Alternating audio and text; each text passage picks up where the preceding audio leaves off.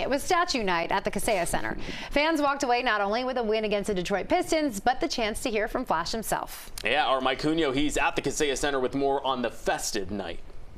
Yes, that Dwyane Wade statue was a hot topic on social media, and D Wade himself said, "Yes, I have an iPhone." He was aware of all the memes, all the jokes, and he's in on it. He's a good sport, but says that that statue is an artistic version of that moment. It's not meant to look like him, but still a cool moment nonetheless for D Wade and his family, and it was one that Heat fans were able to take part in yesterday. I talked to some on the street, and they predicted that statue would become a huge attraction, and it did. Wade showed up showed up pregame to take photos outside the arena with some season ticket holders. Then at halftime, a ceremony to honor that new piece of hardware outside the Kaseya Center, and he got a replica sign of Dwyane Wade Boulevard, which of course now runs along the outside of this building, a building he made his home and one he wants Heat Nation to protect.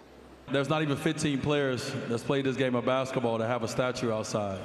We, we have a statue outside for me to be the vessels that's used to be the chosen one, I'm proud of it.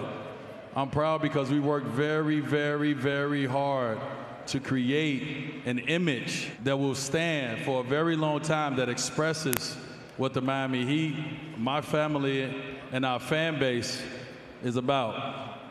So don't let nobody talk about our house, because this is our house. They on the outside.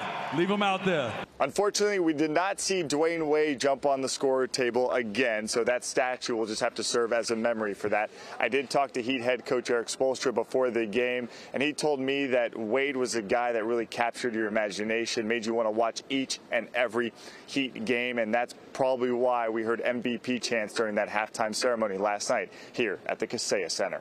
In downtown Miami, Mike Cugno, CBS News Miami.